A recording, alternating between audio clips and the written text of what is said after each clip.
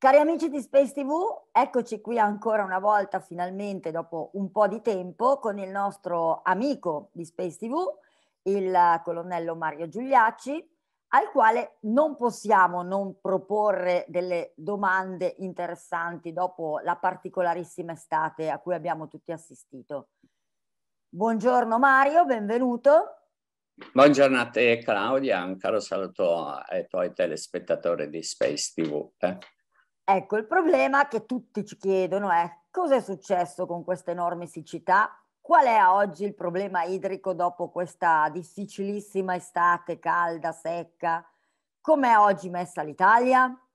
Allora, diciamo che senz'altro è stata la più grave siccità di sempre perché è iniziata in gennaio, no? È finita, non è finita, perché adesso ad ottobre, diciamo, hanno ricevuto abbastanza acqua le regioni tirreniche, le regioni tirreniche e le isole, ma eh, gran parte del nord, soprattutto le regioni di nord-ovest e quelle del medio Adriatico, sono ancora fortemente deficitari in termini di eh, apporti idrici.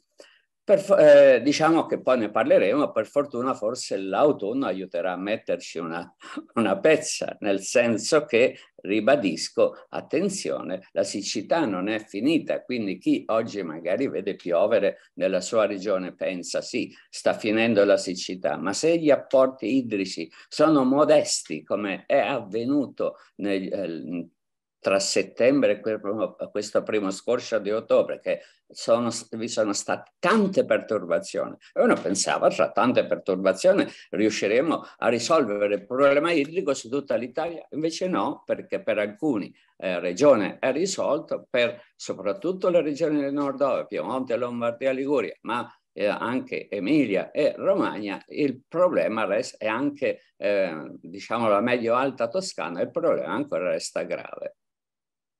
Eh, grazie Mario per questa prima delucidazione sul problema idrico in Italia.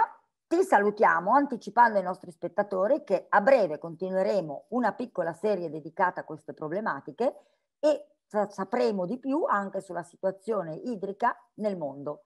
Per ora, grazie e alla prossima. Grazie a te e un caro saluto ai tuoi telespettatori.